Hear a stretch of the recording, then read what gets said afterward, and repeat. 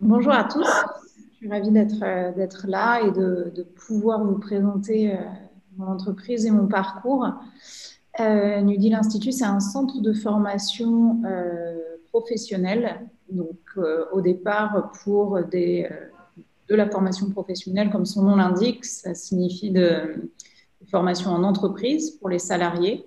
Donc, on forme dans dix langues différentes au sein de la structure, on a euh, trois activités vraiment distinctes. On a euh, la formation en entreprise, formation professionnelle, donc euh, financée dans le cadre du CPF, du plan de formation, voilà, ou par les entreprises elles-mêmes. Euh, on a également un département FLE, français langue étrangère, Là, on accueille des étudiants qui viennent d'un peu partout dans le monde pour euh, soit euh, se, former en français dans le but d'intégrer euh, l'université par la suite. On a également des, expatriés, euh, voilà. Et, euh, on a aussi un département qu'on appelle mobilité internationale, où là, on accueille des jeunes en boursier Erasmus donc, on coordonne leur parcours, on est, euh, organisme d'accueil, on gère, euh, on recherche des stages pour eux, on fait des cours de français, euh, donc sur des parcours qui peuvent durer entre deux et six mois. Depuis la crise, euh, le, le, FLE est un secteur un petit peu bah, très touchés parce que forcément nos élèves ne peuvent plus arriver de l'étranger, donc euh, nos effectifs ont, ont fondu. Euh, et il, nous a fallu trouver des euh, d'autres pistes pour continuer à se développer. Euh, et on a pu continuer. On est centre de, de passation, centre d'examen pour différents euh, différentes certifications et diplômes, surtout sur le FLE, donc le, le, TCF, le DELF, le DALF. Je ne sais pas si ça parle à certains d'entre vous ont des, euh, des certifications de, de, français, en français langue étrangère, et qui sont euh, exigibles pour des, euh, une demande de carte de résident euh, sur le territoire français ou la nationalité française. Euh, donc on a, on a mis l'accent sur cette activité qui s'est euh, très très fortement développée et qui a fait émerger un, un nouveau besoin euh, qui n'est plus du FLE, mais de l'alphabétisation vraiment. C'est-à-dire qu'on est avec des, euh, des, publics qui sont déjà locuteurs, qui parlent français, mais euh, qu'on accompagne euh, dans, la, dans l'écrit. On, leur apprend à lire et à écrire et on les prépare à ces examens. C'est un secteur qui est vraiment où il y a vraiment beaucoup de demandes, où il y a beaucoup de besoins. Donc, on est euh, en très fort développement de ce côté-là. Je crois que j'ai fait le tour de, de, On fait beaucoup, beaucoup de choses, mais euh, toujours euh, voilà, avec, euh, sur les langues étrangères. Est-ce que vous pouvez nous dire quels sont les, les salariés qui travaillent avec vous? Le, le, type de salarié, le nombre de personnes? Juste. Euh... Oui. Merci. Donc, l'entreprise, j'ai créé l'entreprise en 2009. On est aujourd'hui euh, 15 salariés. Donc, il y a une équipe dans l'administratif qui, euh, bah, qui, gère les inscriptions, euh, les programmes de, de, euh, de, formation, les dossiers de financement, etc. Euh, ensuite, j'ai une équipe pédagogique où j'ai deux responsables pédagogiques, une sur le français langue étrangère et l'autre sur la formation professionnelle. Euh, une équipe de formateurs, évidemment, une équipe pédagogique avec des, euh, des professeurs, des enseignants, euh, formateurs sur le FLE, sur l'alphabétisation et sur les, sur les langues euh, étrangères.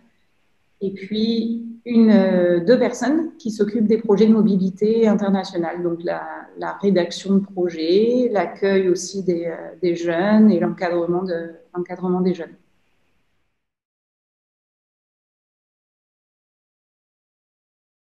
Euh, j'ai fait une maîtrise à l'époque, maîtrise LEA en anglais et en espagnol, et j'étais en double cursus. J'étais également en LCE japonais.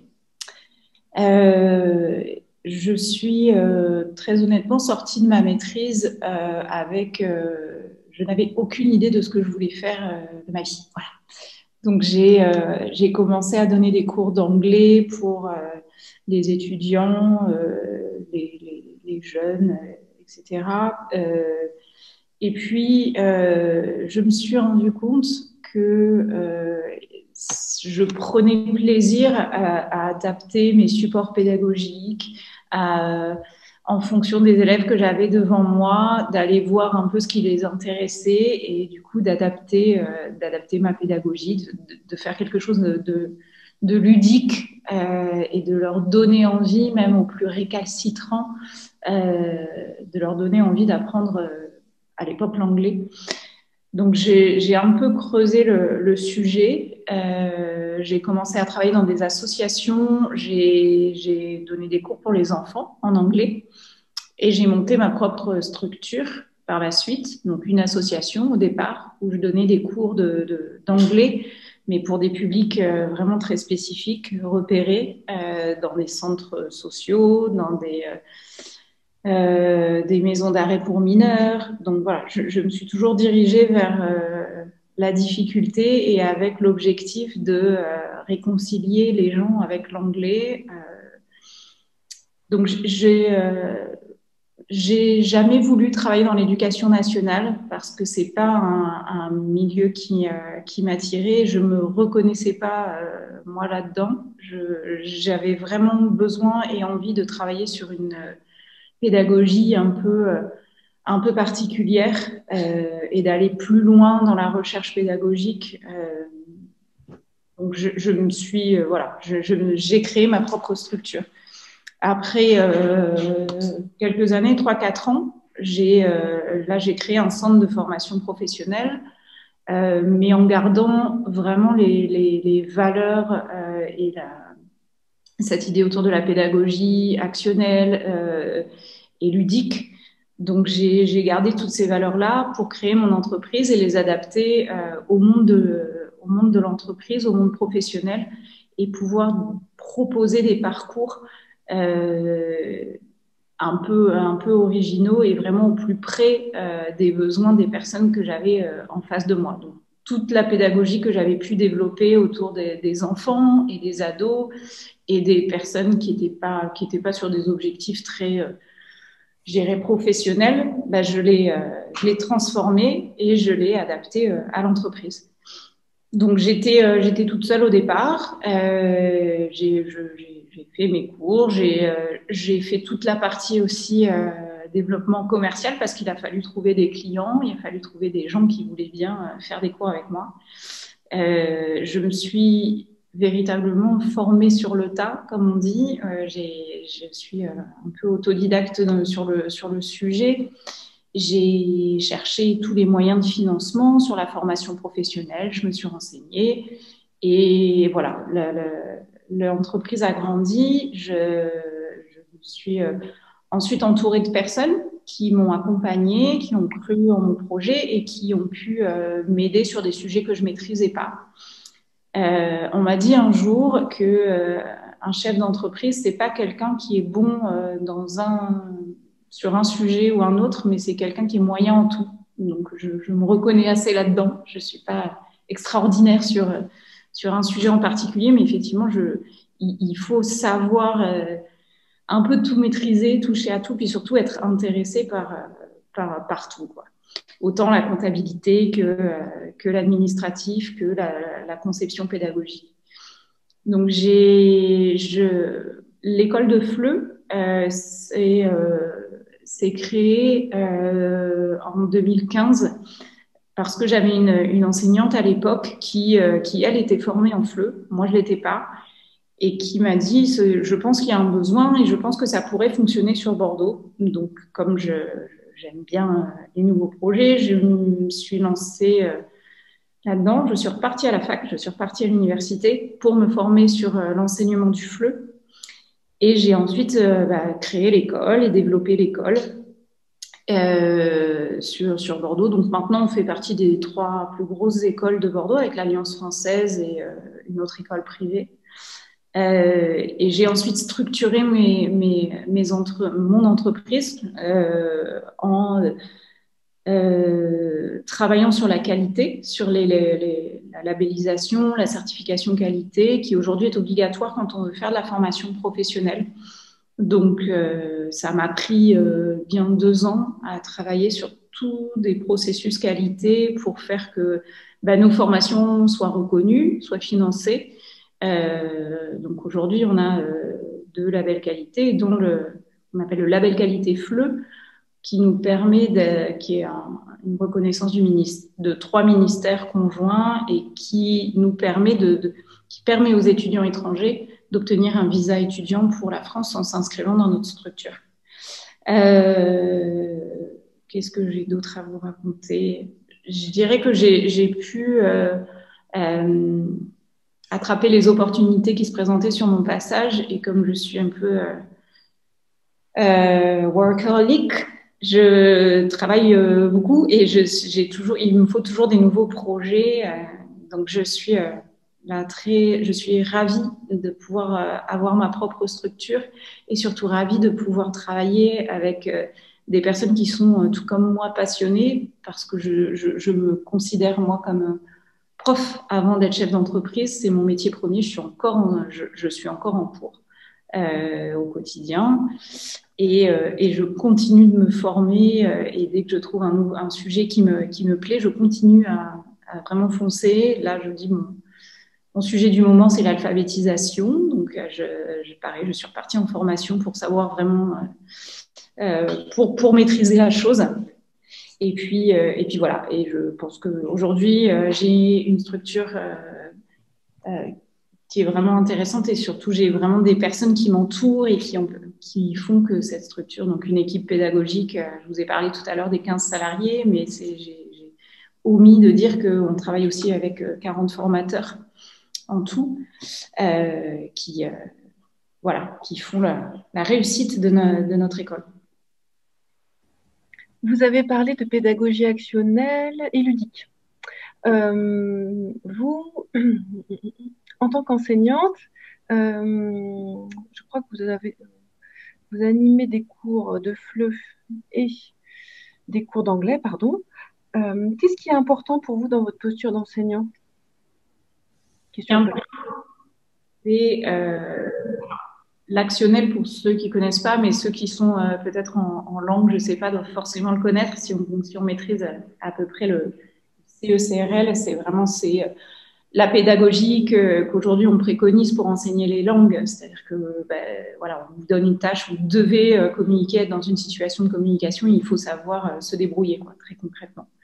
Euh, moi, ce qui est important, euh, c'est euh, de prendre du plaisir quand je travaille et quand je donne des cours. C'est-à-dire que je, je suis, euh, euh, j'ai envie de rentrer en cours et je sais que je vais m'amuser, je sais que je vais faire rire mes élèves, je sais qu'on va passer un bon moment.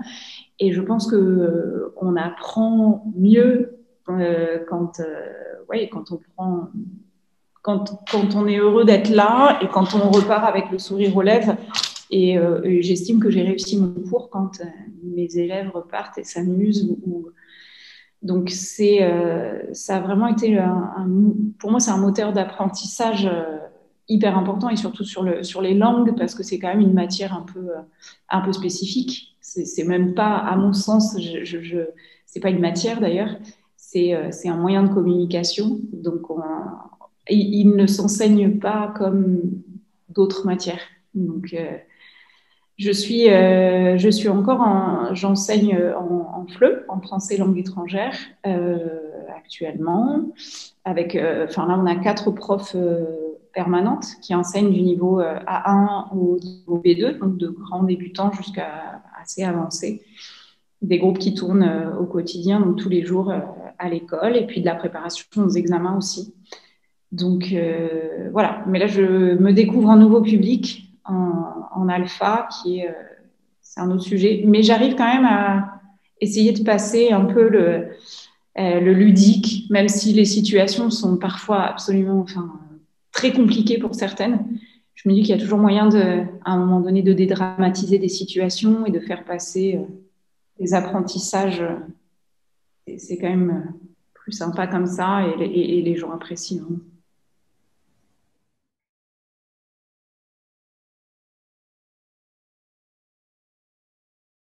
Je dirais que l'important, c'est de. Enfin, déjà, je vous félicite d'être là parce que je, euh, moi, de, mon temps, euh, à l'université, j'ai pas connu euh, d'échanges comme cela et je trouve que c'est vraiment, euh, vraiment intéressant de pouvoir rencontrer des professionnels et pouvoir s'ouvrir au monde professionnel parce que j'ai, enfin, je, je, je porterai pas de jugement sur, sur l'université, mais moi, j'ai quand même eu, à la sortir de mon, ma maîtrise de l'université, j'ai ça a été un petit peu violent quoi, de, de, de, se retrouver en entreprise. Donc, je trouve ça euh, chouette que maintenant vous fassiez des rencontres comme celle-là et que vous professionnalisiez euh, les parcours. Euh, nous, dans le cadre de la structure, on accueille effectivement des, étudiants de master 1 et master 2 sur du FLE, donc les parcours de, d'enseignement.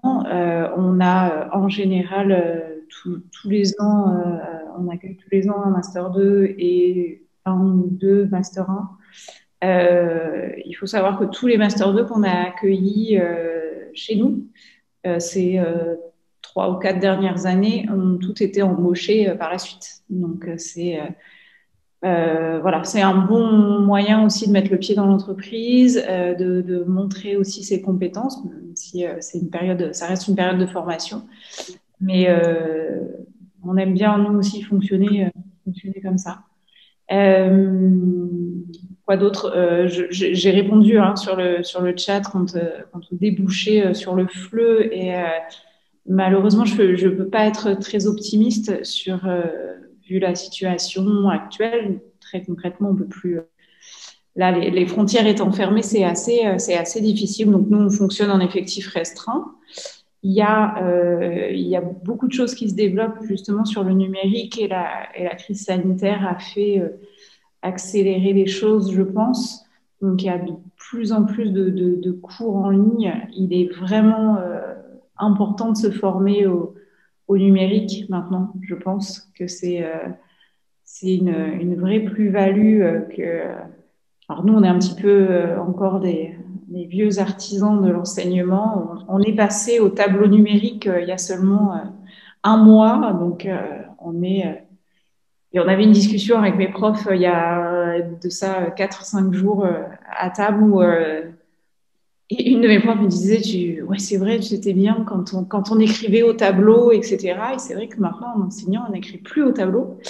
On a tous nos écrans. Euh, donc, c'est, euh, c'est vraiment bien de pouvoir euh, se former. Et c'est, enfin, ça modifie nos métiers considérablement, ça les facilite. Mais c'est, c'est vraiment de nouvelles compétences qu'il faut acquérir et qui sont vraiment, qui sont vraiment importantes. Euh, voilà, donc je disais oui, le secteur du fleu est un petit peu, euh, oui, c'est un peu compliqué en ce moment en France. Et, de façon générale, il y a, il y a je dois l'avouer, beaucoup de candidats sur du, français, euh, l'enseignement du français langue étrangère est quelque chose d'assez assez demandé. Il y a beaucoup de, beaucoup de candidats.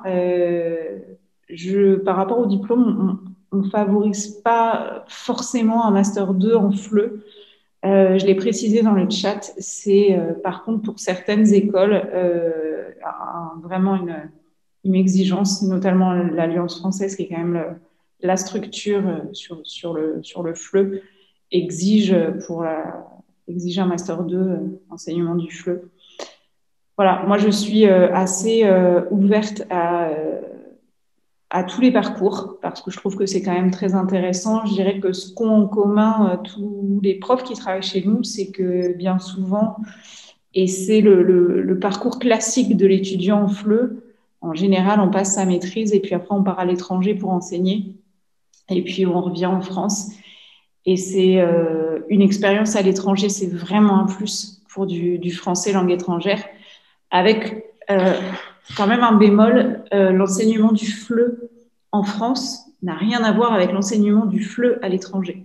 On est dans un, dans un cadre en France multiculturel, dans une classe où on a tout plein de nationalités mélangées et il faut vraiment intégrer l'interculturel dans la classe, ce qui n'est pas pas la même chose quand on enseigne à l'étranger parce qu'en général, on n'a euh, qu'une seule nationalité, la nationalité du pays. Et c'est, euh, enfin voilà, il faut aussi faire, et c'est ça qui fait la, la richesse de notre métier et qui fait qu'il est passionnant, c'est qu'il faut faire avec euh, plein de nationalités en face de nous, certaines sensibilités, des, des et c'est vraiment, c'est vraiment intéressant. C'est très, très intéressant. Euh, voilà. Après, on, travaille aussi beaucoup avec d'autres formateurs, en règle générale, qui sont natifs et qui enseignent dans leur langue maternelle, mais pas, nécessairement et pas obligatoirement. Euh, j'aime bien, euh, moi, faire appel à des, des francophones quand on enseigne l'anglais sur des niveaux débutants en français, parce que euh, il y a quand même beaucoup de, euh, des Français qui se remettent aux langues étrangères euh, à un âge je vais pas dire avancé, mais après, quand ça fait un moment qu'ils ne sont pas allés à l'école, dirons-nous, ont, cette tendance à se raccrocher évidemment à leur langue maternelle. C'est la même chose à l'inverse.